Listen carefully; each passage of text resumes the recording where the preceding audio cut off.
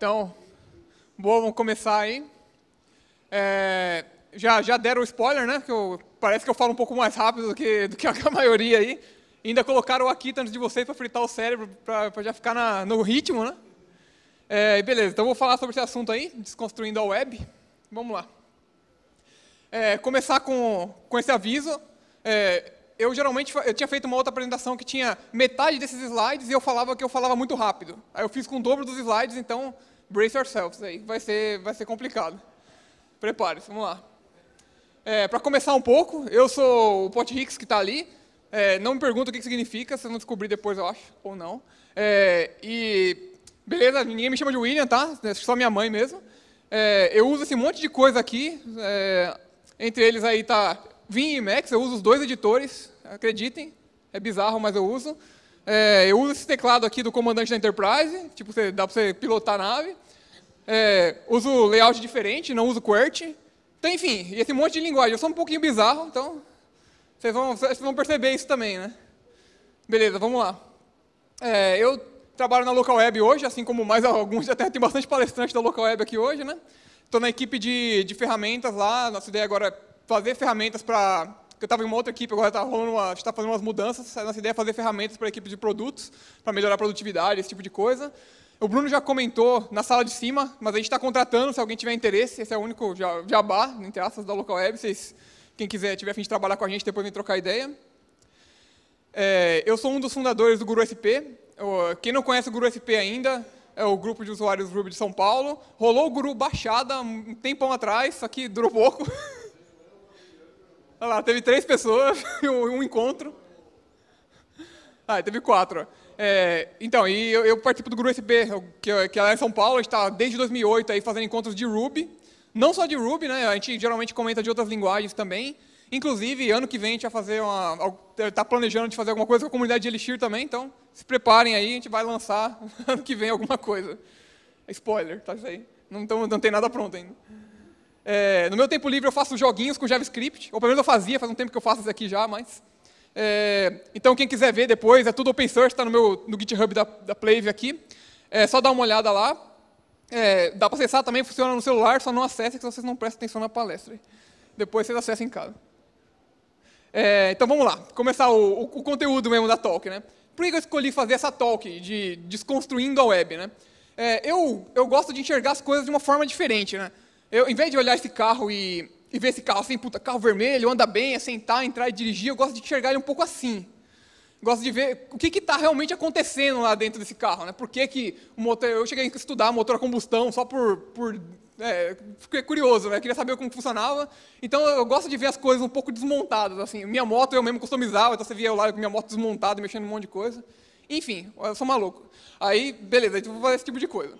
É, eu já fiz isso uma vez com, com a Alma Talk, que foi é, Game Network Programming. Eu fiz com o Diego Souza. A, a, ideia da, da Talk era pegar tudo que... A grande maioria dos jogos que a gente vê por aí, que ou tem código aberto, ou saiu artigo da própria empresa sobre isso, e mostrar como que eles funcionam por baixo dos panos, a parte de rede. Então, a gente pegou, por exemplo, Quake da id Software, mostrava como que ele criava cada pacote de rede, como que ele mandava e fazia todo o sync de, de network com isso daí. Então, se quiser ver, também está no YouTube. Inclusive, foi feito no Guru SP essa daí também. É, e a parte legal disso daqui é que ficou da hora nessa foto, né? Ficou meio, meio metal aqui. Esse é o Saruman, para quem não conhece, finado. Uma pena, mas enfim. Beleza, eu tive que escolher uma stack para fazer isso aqui, né? Que não, dá para fazer de todas as stacks do mundo, que a ideia é mostrar um request lá do começo, por tudo que ele passa até chegar no servidor e voltar. Então, beleza, tem que escolher uma stack para isso daí. Então, a stack que eu usei é o Linux, que é esse computador aqui.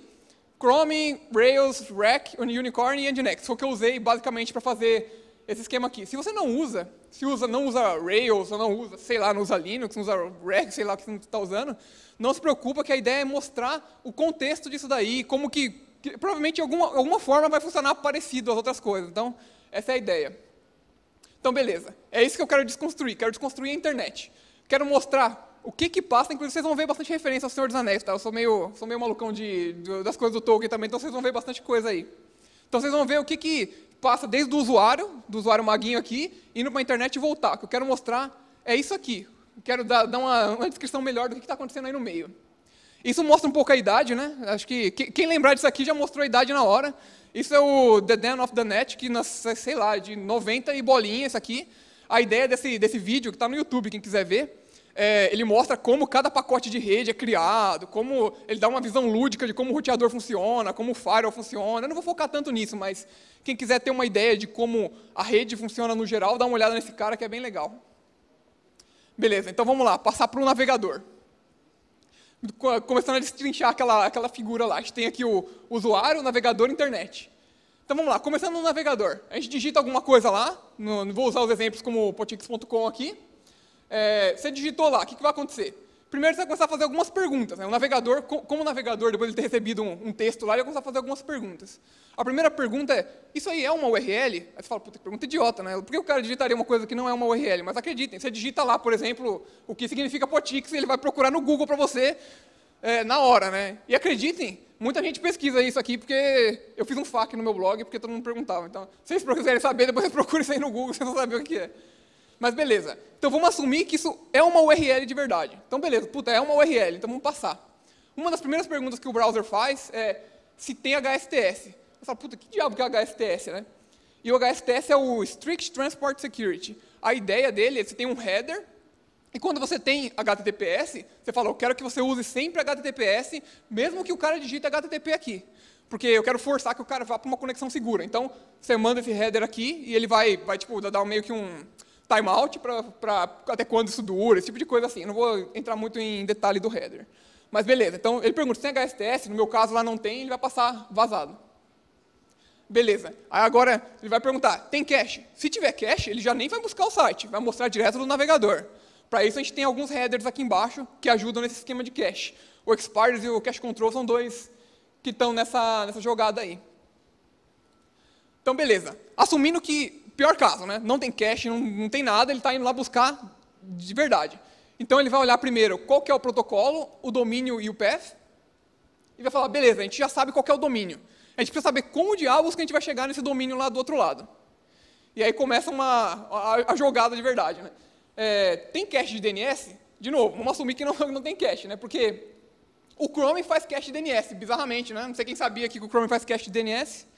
É, eu entrei em contato com o Ilya Grigori, que não se, quem não conhece o Ilya Grigori, que ele é um engenheiro de performance do Google. Ele escreveu um negócio bem legal aqui no, no eu não lembro o que, que é, o que significa o OSBook aqui, mas é, um, é, tipo um livro com, com vários artigos de como os softwares open source funcionam.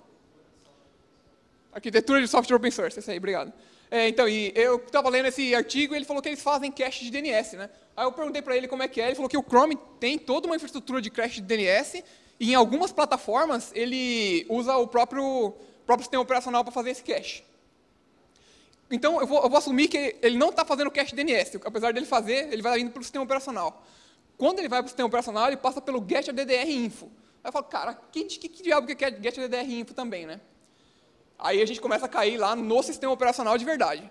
Lembrando que a gente só está tentando, só queria saber, só queria saber onde eu, qual que é o IP daquele nome só. Beleza. Então a gente vai cair num negócio chamado glibc. Quem que sabe o que é a glibc? Até que tem bastante gente, mas a glibc, sempre que vocês forem mencionar, vocês lembrem, é a GNU libc. O Stallman vai estar olhando para você, se você não falar que é a GNU, hein? Beleza, então vamos entrar lá na glibc. A glibc, primeiramente, vai olhar o CTC hosts, porque muitos devem saber já que no ETC host você pode falar que, sei lá, você pode trollar o seu amiguinho do, do trabalho, né? Que toda vez que ele for entrar no site do trabalho, você manda ele para um, para o pudim.com. Ele fica, o que está acontecendo? Hackearam minha máquina. Aí você mexe no ETC host dele. Então, que o glibc vai fazer esse tipo de coisa. Então, ela olha primeiro no seu ETC host, vê se tem alguma coisinha mapeada lá. Se tiver mapeada, ele já muda o DNS ali. Passando disso daí, ele vai realmente executar as coisas do getDrInfo. Todos os links, depois vocês pegam a apresentação, no final tem o link para ela lá, ou me peçam depois, ou tweet, alguma coisa assim, mas eu enchi essa apresentação de links, todos os links estão indo para o código de cada uma das coisas que eu estou fazendo, que eu estou falando aqui. Nesse caso aqui, é o código da, do getDrInfo dentro da glibc, quem quiser dar uma olhada no C maroto lá, é supimpa. É, beleza, passando, então ele vai chamar a glibc, e a glibc vai começar a fazer algumas perguntas para o sistema operacional. É, se você tiver com um daemon de NSCD, que é, o, é só um daemon de DNS, a ideia desse daemon é ficar no sistema operacional fazendo cache de todas essas chamadas. Então, se ela pergunta para o NSCD, você tem cache aí? Se ele tiver cache, já resolveu o DNS aqui. Se ele não tiver cache, continua o processo. Então, a gente vai continuar pelo, pelo pior caso, que é sempre mais divertido. Né? Beleza.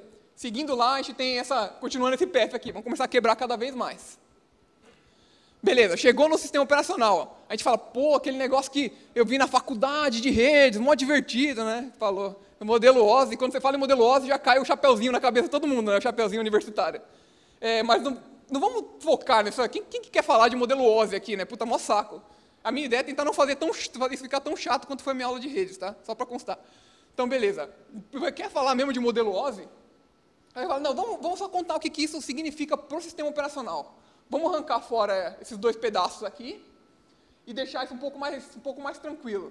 Então, a gente tem essas cinco camadas aqui, e essas cinco camadas vão, vão ser divididas entre a parte do sistema operacional, que fica embaixo, e a parte do usuário, que fica em cima. Aí vamos detalhando cada pedaço desse daqui para saber como que o seu request vai sair. Lembrando que, por enquanto, é só o request DNS. Beleza. Então, a gente tem lá em cima um request DNS, TCP, UDP, que vai sair, IP, Ethernet, e o dado especificamente de transporte ali. Então, beleza, vamos começar com o DNS. O Chrome tem toda a especificação de DNS, quem quiser ver, está o código do Chromium aqui. Tem todo como que ele cria pacotinho UDP, que eu não vou focar nisso, que é mó saco, mas está lá, quem quiser ver. É, e beleza, vamos lá que ele vai sair pelo get info aqui. Ele vai, ele vai usar duas syscalls, agora estou começando a entrar um pouco em syscall. É, essas underline, underline socket, underline, underline connect são duas funções da glibc. Ela faz meio que um wrapping por baixo para poder chamar a syscall realmente connect e socket. E aqui dá para ver que ele está criando um socket com o DP, em cima daquele protocolo IP ali. E depois fazendo connect para bindar o, o, endereço no socket. Então, para vocês terem uma ideia, quem aqui já usou Strace? Só para ter uma ideia. Beleza, pô, até poucas pessoas usando Strace, mas só para vocês terem uma ideia, o Strace ele fica plugado em um processo e mostrando todas essas calls que estão acontecendo embaixo daquele processo. Eu fiz um, um comandinho meio bizarro, né? Só que é meio, o que vocês têm que focar é isso aqui, tem um, fiz um trace ali, bindei no, no, no, PID lá no fundo, esse resto tudo só vou pegar o PID certinho no, no, no Chromium. E peguei algumas dessas calls que ele, que ele ia utilizar só para ter uma ideia. Aí aqui dá para ver que ele está fazendo uma chamada DP para o IPv6, que a gente faz aqui, ó, net, dá para você ver em net6. Ele viu que não tem IPv6, Network Unreachable, fez a chamada para o IPv4 e conseguiu o request. Aí ali está o Operation in Progress. Então você consegue ver exatamente o que está acontecendo no sistema. Para quem não conhece Strace, aprenda aqui uma coisa bem legal para você saber o que realmente está acontecendo no seu sistema. Então, beleza. Conseguimos ver o que está rolando. Aí agora, beleza, vamos resolver o DNS. Para resolver o DNS, a gente tem IPv6 e IPv4. Quem não conhece, o DNS tem que fazer o registro dos dois. Chamada A para IPv, IPv4, AAA, 4As para IPv6. No Mac e no iOS, eles já eles implementam esse algoritmo chamado Happy Eyeballs. A ideia do Happy Eyeballs é fazer você usar sempre IPv6, ao invés, sempre não, né? Sempre que possível, favorecer IPv6 sobre IPv4. Com isso, você tem uma adoção maior do IPv6, que não é uma coisa tão, tão simples de se fazer, né? É, quem quiser ver depois a RFC do Happy Eyeballs, está tá nessa RFC. Quem, quem não gosta de ler RFC, né, cara? Então, quem quiser ler, tá aí, eu já coloquei o link, que eu sei que vocês, vocês adoram. É, mas eu, eu, eu li para vocês e fiz uma explicação mais simples, pra, só para facilitar. Imagina que você é o navegador aqui, que no caso você tem operacional, né, mas navegador para baixo. É, você vai fazer chamada para os dois, para o A e para o AA. Eles vão responder para você os dois. Os dois caras vão responder, provavelmente, se tiver as duas chamadas. E ele vai fazer a chamada para os dois sites, para o IPv6 e para o IPv4. Aqui. Se o IPv6 estiver zoado, ele simplesmente usa o IPv4. Se o IPv6 funcionar, é o IPv4 responder também, ele dá um reset no IPv4 e favorece o IPv6. Então, é basicamente isso daqui, o Happy Eyeballs, quem, quem não conhecia ainda. Beleza, então, cobrimos o DNS lá, agora a gente vai passar para TCP UDP. Então, ele vai montar o pacotinho lá para poder enviar aí na camada de transporte. Então, para quem quiser ver o código, esse aqui é o código do kernel. Eu não abri ele aqui porque para não assustar ninguém, mas está lá na... Então, esse aqui é o link do, do GitHub do Torvalds, ou é do Linux, do, do site do kernel mesmo. Então, quem quiser ver como o DP funciona no código de verdade, está aqui. Mas uma explicação simples de, de como o, DP, o que é o DP. Imagina o DP como uma carta. Você tem ali só seu pacotinho, você vai colocar um conteúdo no seu DP, vai fechar ele, colocar um endereço, que no nosso caso é o endereço IP, e mandar. Só que o IDP tem esse problem, eh, problema, né? tem essa vantagem, talvez, de dependendo do caso, de que você não sabe como, se ele vai voltar ou não. Pode ser que se perca. É como você mandar uma carta de verdade. Você mandou e você assumiu, se ninguém te falar nada daqui a um mês, é que não chegou a carta, você vai fazer o quê? Vai preparar ele e mandar de novo. É, em jogos, que eu falei da outra palestra, o pessoal usa muito isso porque você tira algumas camadas do TCP ali no meio, que é cuidar de fila, cuidar de, sei lá, de estado, essas coisas assim. Então o DP tende a ser mais rápido, dependendo do que você for fazer. Beleza, então a gente mandou o DP lá para o outro lado. E a gente supostamente passaria para esses dois aqui. Só que acreditem que por enquanto é mágica. Não, não acredite que está, está, está acontecendo magicamente, está sendo teletransportado para lá. Por enquanto. É, beleza, então a gente conseguiu mandar o DP. O que, que, que, acontece com o DNS, na verdade? É, isso aqui é uma figura simples de DNS. É, você tem 13 root servers no mundo. Não, não são 13 servers, mas são 13 tipos de root servers.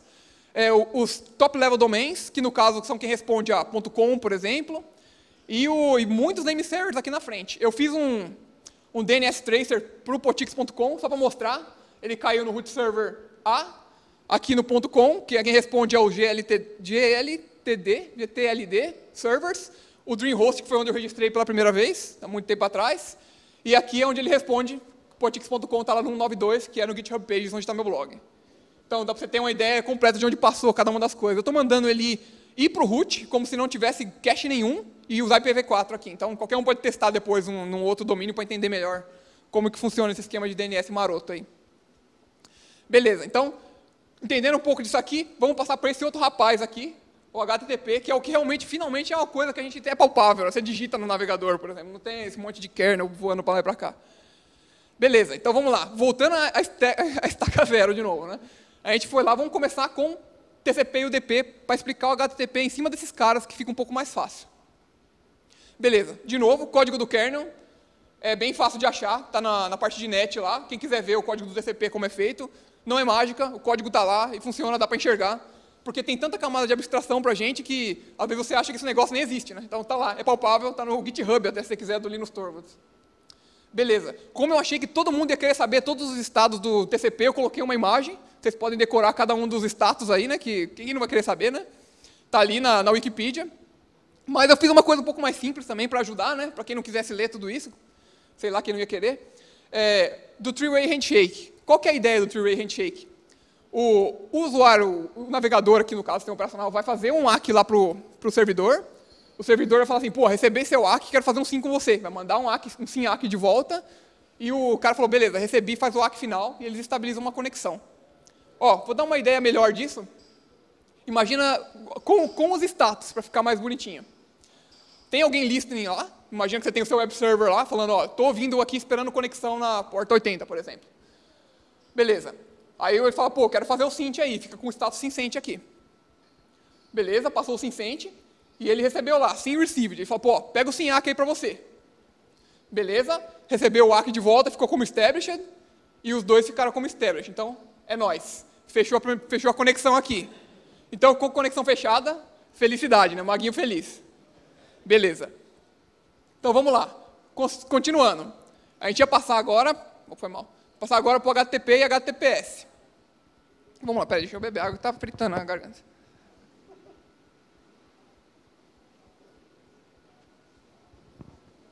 Beleza. Falando um pouco de HTTPS. O HTTPS, ele usa o TLS por baixo dos panos.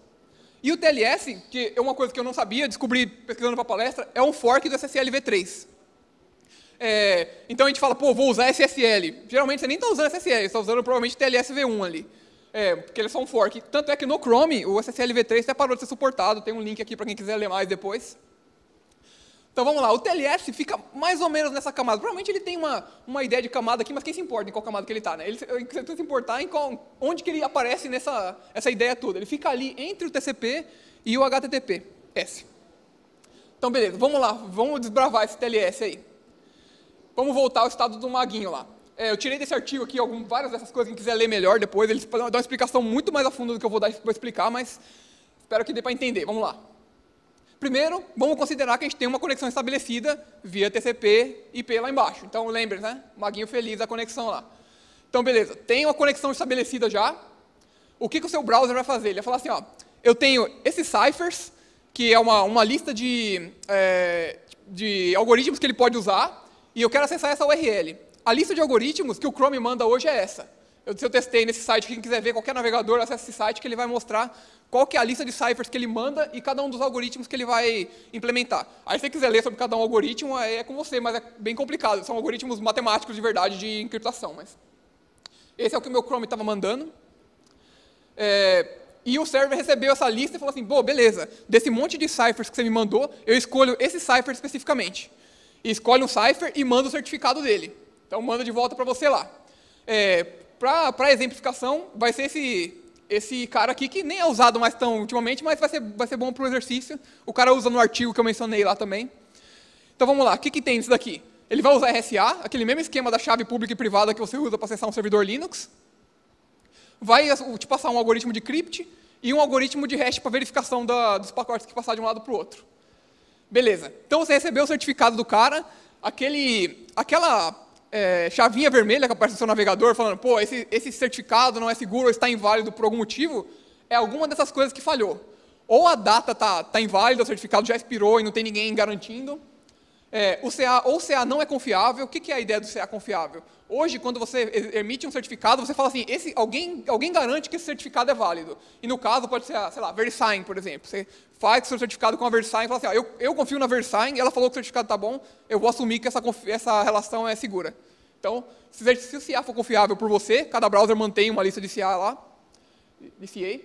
É, você vê se a assinatura do certificado está válida, que, que ele é assinado lá, e se a URL é esperada para não acontecer emenda middle, porque tipo, um cara pode estar lá no meio e falar assim, ah, eu sou esse cara aí, te manda o um certificado e você fica fechando conexão com quem não deveria. Então você vê se a URL que você fechou é a URL esperada. Então beleza, se está certo, você vai passar para o próximo. O cara aqui, o browser vai gerar uma URL, ele vai gerar uma parada ali chamada pre-master secret. Esse pre-master secret vai passar para lá já encriptado, ele usa o RSA para passar para lá.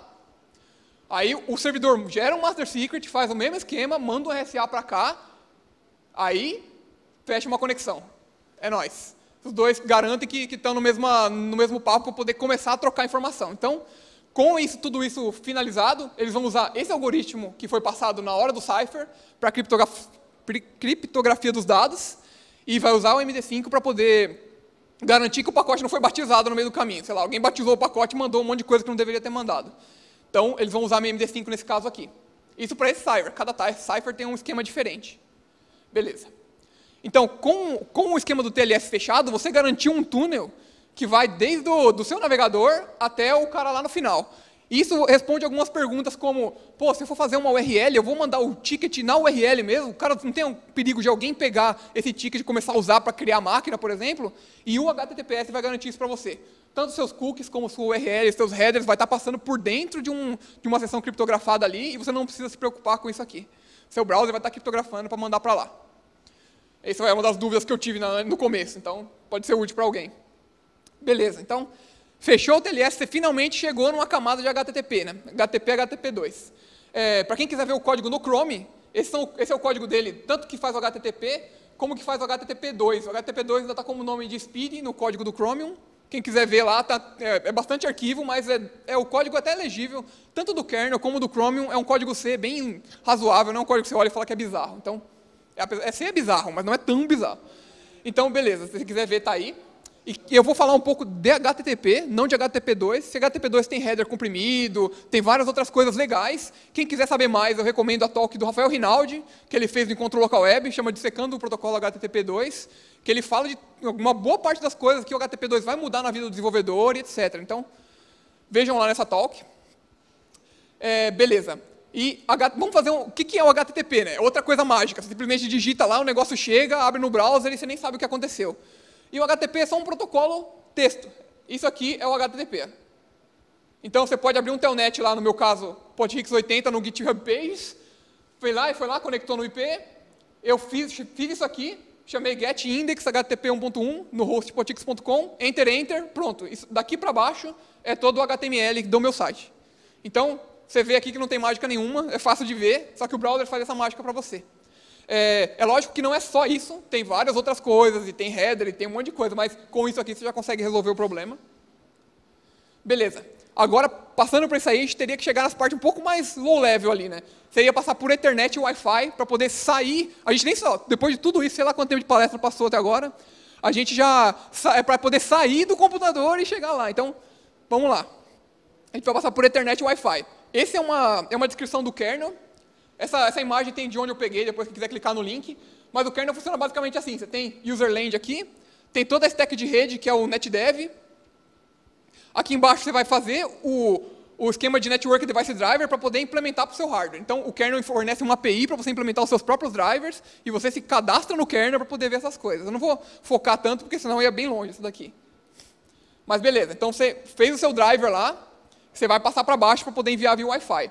Esse caso aqui, aqui está o código de cada uma das coisas que funciona para o meu computador, claro. Né? É, esse é o, é o link do TCP/IP. Esses são todos os frameworks que você tem que passar para poder sair via Wi-Fi quando você está usando um Linux. Então você tem o configuration do 802.11, que é o protocolo de Wi-Fi, e o MAC 802.11, que faz o encapsulamento para todos esses drivers embaixo. E esse é o driver da minha placa Wi-Fi lá. Então, quem, o kernel está lá para isso. Quem quiser saber como funciona, é um código legalzinho. Quem quiser ver também tem o paper de onde eu tirei essa imagem aqui, que ele explica como funciona cada parte dentro do kernel, para quem tiver curioso aí, igual eu estava. Beleza. Então, conseguimos chegar ali no roteador. Você saiu do seu computador, vai passar pelo roteador para poder sair. Você está lá na sua casa, você vai precisar de um roteador para poder sair para a internet. Então, beleza. O roteador pode ter, pode ser wireless A, wireless B, G, N e até a C para quem tiver mais abonado de grana aí. Que eu não agora mais com o dólar alto, né? Mas beleza. Então eu vou focar um pouco no G, que tem umas particularidades bem engraçadas aqui. É, o, o Wi-Fi usa esse negócio chamado Career Sense Multiple Access with Collision Avoidance. Eu falei, caraca, os caras vão querer muito saber né, sobre collision avoidance. Eu falei, puta, eles vão estar tá tocando guitarra na, na água enquanto eu estiver falando isso aqui. Eu falei, puta, não vou, não vou focar em collision avoidance. Então, mas ele usa aquilo, quem quiser ler depois, Wikipedia. É, o seu wireless G vai estar tá, vai tá brigando com um monte de gente por sinal. Se você tiver micro-ondas, que com certeza você tem, ele vai estar tá brigando com seu micro-ondas, por sinal, eles rodam na mesma frequência, vai estar tá brigando com o baby monitor, vai estar tá brigando com o telefone sem fio. Então, esses caras aqui podem cagar o seu sinal se você estiver numa rede Wi-Fi. Seu request vai estar tá brigando com esses caras aqui também. E imagina que isso é uma coisa bem interessante também. Se você tiver um, um celular B entrando na sua rede Wi-Fi, e você tem o seu celular G lá, feliz, você tem cinco celulares G lá, e entrou um celular B, aquela pessoa que chega, ah, eu posso usar seu Wi-Fi? É claro, você nunca pergunta para ele, né? Seu celular é B? Enfim, você deixa ele acessar, né? Aí o cara vai lá, acessa, fica lá assistindo o YouTube, e imagina que ele seja um em, sei lá, um em três. Ele vai diminuir cerca de um terço a velocidade de todo mundo, porque o roteador vai um por um mandando informação. Então é rápido, rápido, lento. Rápido, rápido, lento. Então todo mundo vai ser diminuído pela velocidade de um cara. Então, você tem celular vovozinho na rede lá, você vai sofrer. Beleza. Então, finalmente, passando por todas essas adversidades aí, você conseguiu sair para a internet. Na internet tem uma penca de coisa aqui. A voz está até falhando, acho que é melhor tomar outra água.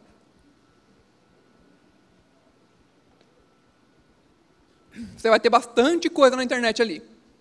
Eu não vou focar em firewalls, load balancer, essas coisas que vai estar ali, porque é bem volátil. O load balancer até poderia ser, mas eu resolvi tirar ele da jogada. Mas eu fiz pelo menos um trace routezinho maroto, né, para mostrar por onde está passando. Então, ó, eu chamei um trace route com menos T, porque é TCP, é, com, com o Mudo IP não voltava alguns pacotes, então o TCP funcionou. É, esse aqui é o meu roteador, então eu estou saindo pelo meu roteador. Quem não sabe, o Palantir é aquele bagulho do Saruman, mas ninguém se importa, né? Beleza? Então, saiu pelo meu roteador. Aí saiu pela net virtual, eu uso net, acontece, a vida é assim, nem tudo é feliz. Você sai pela net, da net você vai passar por todo o backbone da Embratel. É, aqui é, um, é, só um chute, mas eu acho que a gente está indo por Nova York, NYK é, vai, sair, vai cair no backbone dos Estados Unidos lá e passar por um monte de suítes aqui. É, são 11 passos, né? Algum aqui ele, ele pegou, como ele manda três rotas, três pacotes, ele passou por rotas diferentes, então é por isso que ele mostra mais de um IP e tempos diferentes aqui, para finalmente chegar no GitHub Pages, que é o, onde está o meu blog lá que eu falei. Então, esse aqui é o caminho da internet. Beleza, então finalmente passei por isso aí para chegar lá no GitHub Page. Eu vou supor, isso aqui já começa a ser suposição, que eles estão usando Nginx lá então, e suponha que seja uma aplicação Rails, era só para dar o contexto. Então a gente vai chegar no Nginx lá, um, um Nginx vai ter lá uma, uma configuração simples, que pode ser via TCP, esse aqui eu peguei do site do Nginx, é só como exemplo, vai ser via TCP aqui, ou via Unix Socket. Quem sabe o que é o Unix Socket aqui? Beleza, tem pouca, pouca gente. A ideia do Unix Socket é tipo, você vai criar, em vez de você, imagina que você, em vez de você fazer uma rede e passar por fora pela rede, você ia colocar um socket aqui embaixo e ia começar a publicar coisas disso daqui e alguém ia ler por fora. É, você geralmente usa isso para comunicação interprocessos. Então, você pode colocar isso no, no Nginx para ele se comunicar via Unix Socket com o cara que está embaixo. Quem, é, o Unicorn geralmente se comunica com o Nginx por esse tipo de coisa ou coisas diferentes, mas pode ser via Unix Socket. Então, beleza. O pessoal coloca Nginx já na frente para geralmente servir asset ou servir SSL, esse tipo de coisa para configuração. Então imagina que está ali servindo os asset maroto. E ele vai passar para cá para o Unicorn, que é um web server Ruby, para quem não conhece. E ele vai passar via TCP no nosso caso. Aí pergunta, por que ele não vai passar via Unix Socket, vai passar via TCP? É, quem não conhece o 12factor.net, é, é, uma, é uma meio que uma, uma ideia do pessoal do Heroku, com mais algumas parcerias que eu não lembro quem são, mas é muito legal, é bem simples de, de entender. Você lê, em uma, você senta um pouquinho para ler, você consegue finalizar tudo. Sei lá, meia horinha de leitura, recomendo bastante. E ele recomenda usar port binding. Então, a gente vai subir aqui um TCP para passar pelo TCP para sair. Então, por esse motivo, leiam depois que é bem interessante. Beleza? É, aí vamos lá. Como que esse HTTP vai chegar para o Unicorn? Eu não quis colocar código, porque o código é bem grande, mas está os links para o código aqui. Da, esse vindo lá do velho Mongo, está indo para o código do, do Unicorn. É, ele pegou uma sintaxe Ragle que veio lá do Mongrel, para quem é da comunidade Ruby há bastante tempo, a gente usava Mongrel para fazer web server, sei lá, uns seis anos atrás ou mais. É, aí criou o Mongrel, Mongrel Cluster e tal. Mas beleza, esse código foi migrado para o Unicorn, o Unicorn virou usando boa parte desse código. Eu nem conheci o Ragle até a palestra, então não sei se vocês vão conhecer também, mas quem quiser dar uma olhada, está com os links aí depois. Lá ele faz todo o parsing do HTTP para entender que tipo de coisa que ele vai buscar. E beleza, saindo daqui com o parser do HTTP, ele vai passar para o REC. Qual é a ideia do REC, mesmo para quem não é de Ruby? Ele, quer ele faz a interface entre vários web servers para entregar uma interface única para o framework. Então, imagina que os frameworks, em vez de todos os frameworks Ruby, por exemplo, terem que entender todos os web servers, eles colocaram uma camada no meio, essa camada entende os web servers que são escritos ali de alguma forma, e entrega uma interface única para lá, que é simplesmente um, uma, uma env com todos os headers e essas coisas assim. É, o REC foi escrito, bizarramente, a gente fica, tem umas pessoas que ficam fazendo framework Python e Ruby, foi baseado, é, baseado na PEP 3333, está aqui o, o, link da PEP, foi escrita para Python muito antes do REC nascer. É, então, quem quiser dar uma olhada tanto na especificação do REC, como na especificação do Python que gerou isso aí, essa ideia, dá uma olhada lá, que é bem legal. E beleza, então, saindo do REC, ele finalmente chegaria numa aplicação Rails agora. Vamos lá. Agora vamos dar uma olhada mais a fundo no Rails, como que ele chegaria no framework.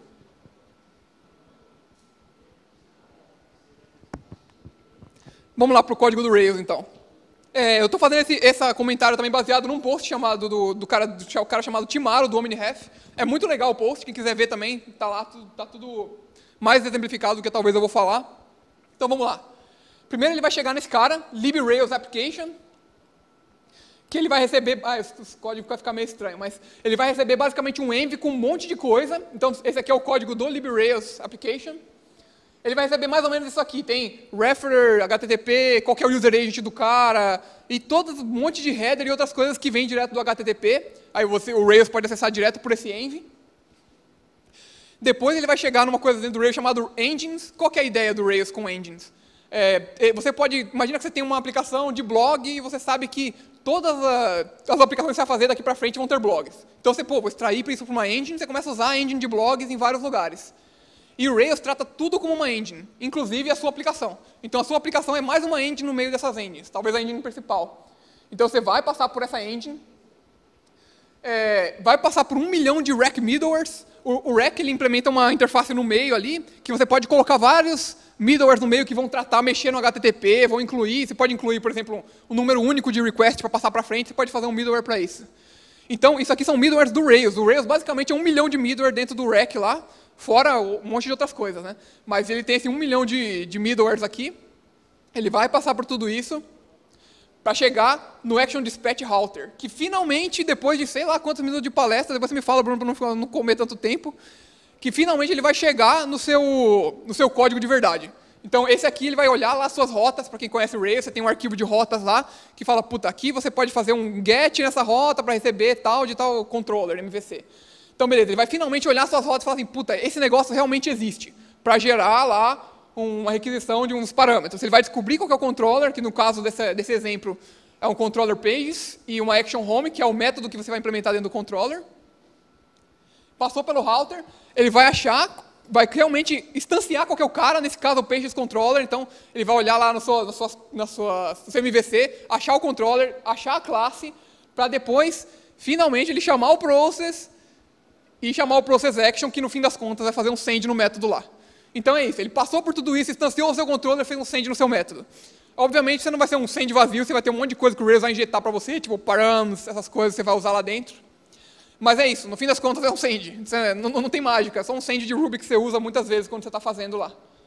Então, beleza, chegou lá no Action Controller Base e fez o send para o seu processo. Então, a gente supostamente terminaria com, o Framework Rails aqui. Aí a gente vai cair lá no nosso MVC, que a gente implementou, implementou cada um dos métodos, que aqui eu vou mudar um pouquinho. Vai ser o, sei lá, VMC, porque a gente vai vir do controller, geralmente no controller a gente faz chamada de, de model, e do model, e depois de chamar tudo, ele vai voltar e vai fazer todas as chamadas de view, para poder devolver essa view renderizada. Então a gente vai, beleza, fez tudo isso aí, e tem a view renderizada, a gente vai finalmente ah, chegar no código lá que a gente escreveu depois de mil anos de palestra. Então, beleza. Chegamos no código lá, a view foi renderizada e vai mostrar o Hello World, sei lá, vai mostrar uma imagem, uma, umas imagenzinhas de Hello World e gatinho feliz lá. Então vai vou começar a voltar isso aqui. Volta para o Rails, o Rails vai falar para o Rec lá, ô Rec, pega aí, aqui está o código, quem quiser ver também no link. É, pega aí, eu estou mandando aqui o status 200, foi tudo bem a requisição. Esses são os headers de volta, se quiser mandar um HSTS lá do começo, vai vir nessa hora aqui. E esse aqui é o body, que vai ser o HTML que você renderizou. Você começa a voltar, vai para o Rec, vai para o Unicorn, volta para o Nginx, volta para a internet, passa por um milhão de lugares, vocês viram lá.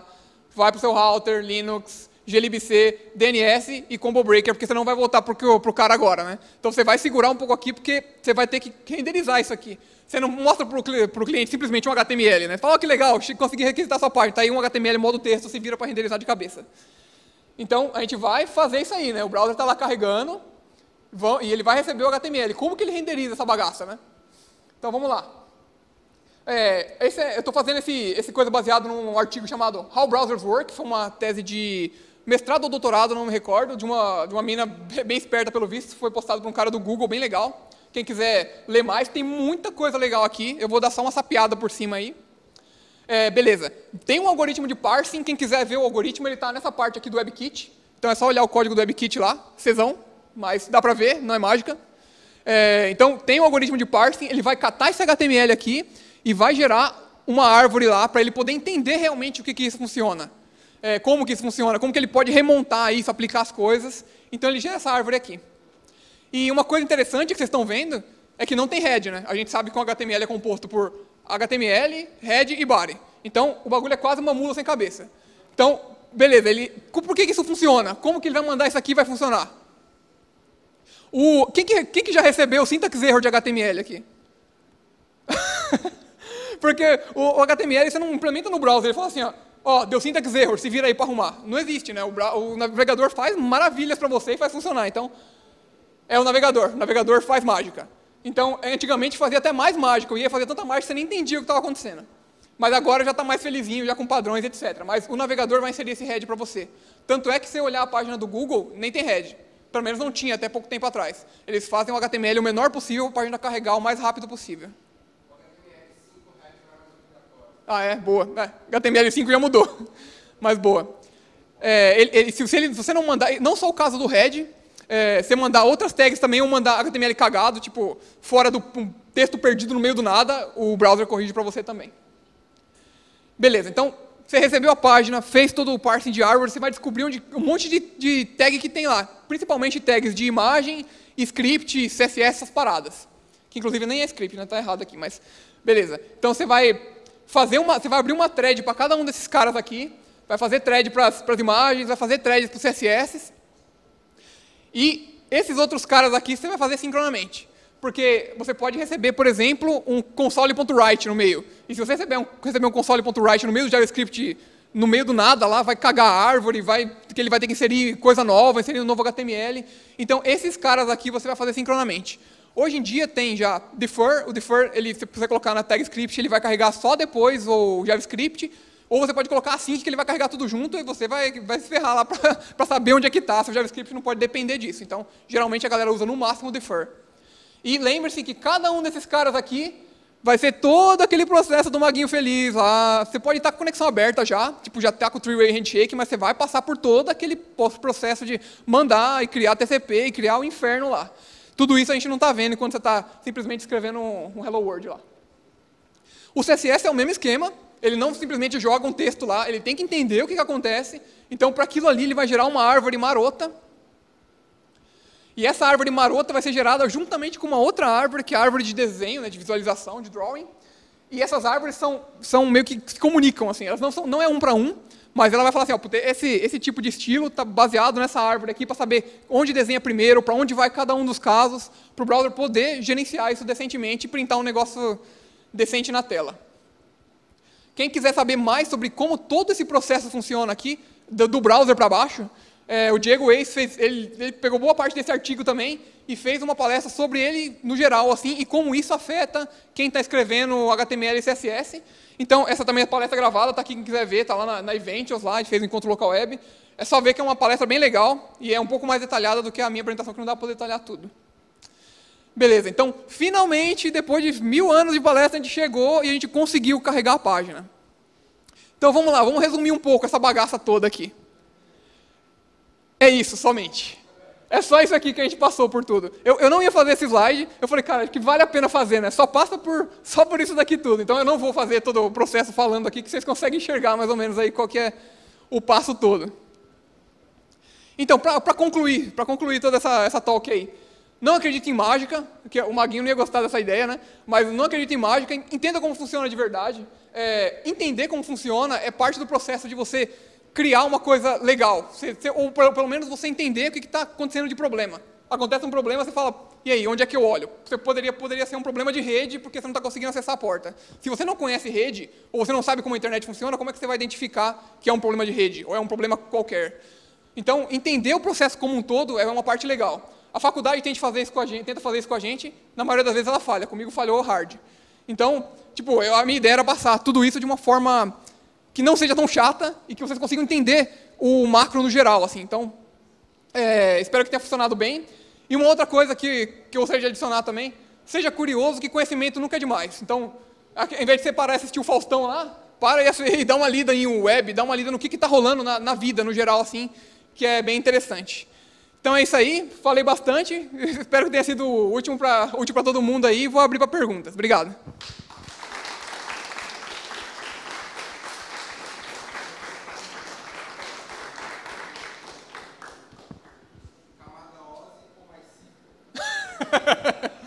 mais cinco. Perguntas aí? Alguém? Ah, o link da, da palestra está aqui, ó. Pra, como foi feito no Google, Google, Docs lá, é só clicar que vai abrir, não tem, não tem chabu. E tem um.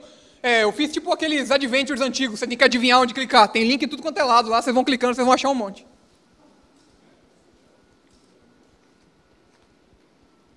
Sem perguntas? Manda aí.